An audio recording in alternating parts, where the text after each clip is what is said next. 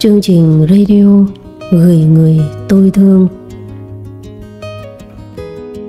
Tranh giành gia sản do người cha quá cố để lại. Bốn người con chết lặng khi tìm ra nơi cha cất tiền không thể ngờ đến. Họ cuống cuồng tìm kiếm lục tung đồ đạc trong ngôi nhà cũ. Tiếc thay ngoài việc tìm thấy một khung ảnh chân dung gia đình họ chẳng thấy bất cứ thứ gì có giá trị. Một ngày trước Tết Trung Thu, ông Lão Vương sống một mình đơn độc, hơn mười mấy năm đã qua đời. Bốn người tự xưng là con cái của ông Vương, không biết từ đâu xuất hiện. Những người hàng xóm ngạc nhiên, hóa ra Lão Vương có nhiều con đến như vậy. Nhưng bao nhiêu năm qua, chưa từng thấy bóng dáng, kể cả các ngày lễ Tết. Giờ đây Lão Vương ra đi, để lại một ngôi nhà cũ, bốn người con mới chịu về lo tang lễ. Lão Vương là một người chu đáo, trước khi nhắm mắt xuôi tay, đã chuẩn bị mặc sẵn chiếc quần tây cũ và cái áo khoác bông cô kỹ, ngay cả mái tóc cũng như vừa mới được cắt tỉa. Kể cả trước nhắm mắt, ông cũng tự lo liệu cho bản thân để giảm bớt được nhiều chuyện phiền hà tới con cái.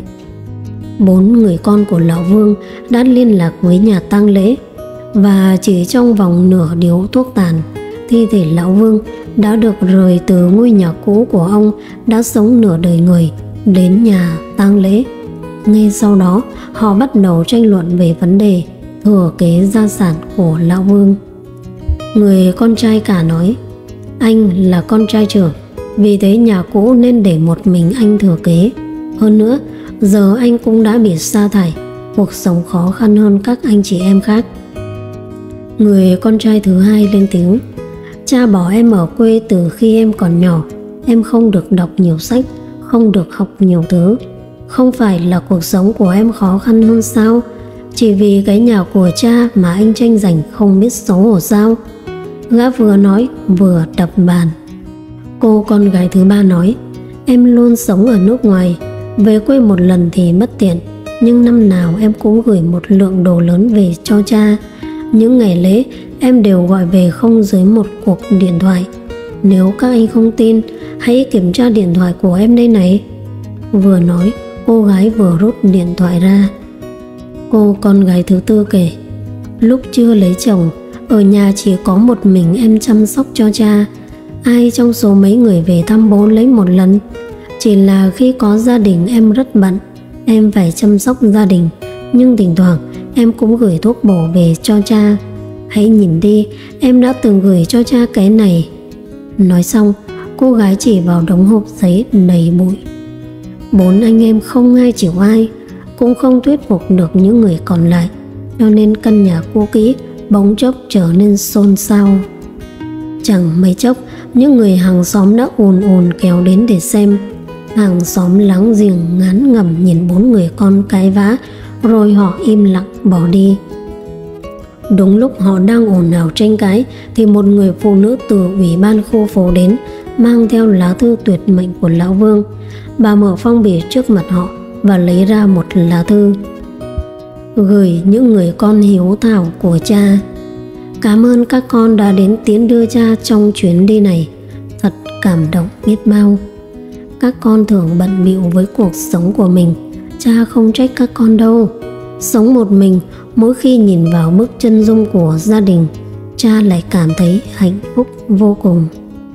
Để sau khi cha mất các con vẫn giữ được tình anh em tuần hòa cha đã bán căn nhà cũ với giá 200.000 đồng. Không nhiều nhận gì, mỗi người sẽ nhận được 50.000 đồng.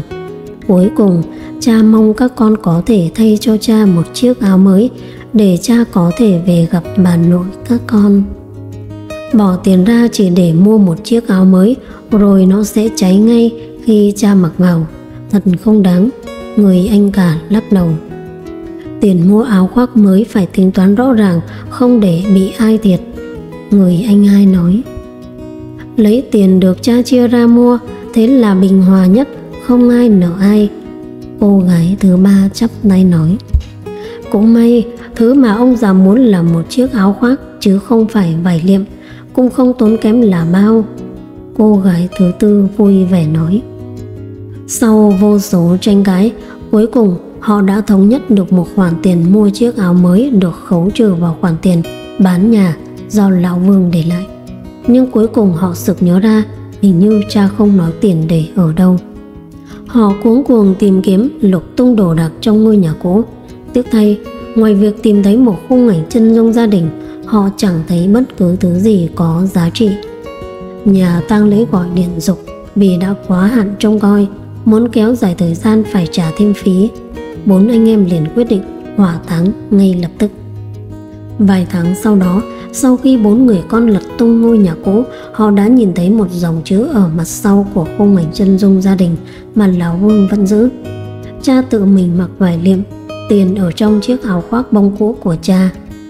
Bốn người con chết lặng, chỉ có mong ước cuối cùng của người cha già tội nghiệp đã trở thành nỗi ân hận cuối cùng. Trích nguồn từ trang Facebook Nguyễn Hạnh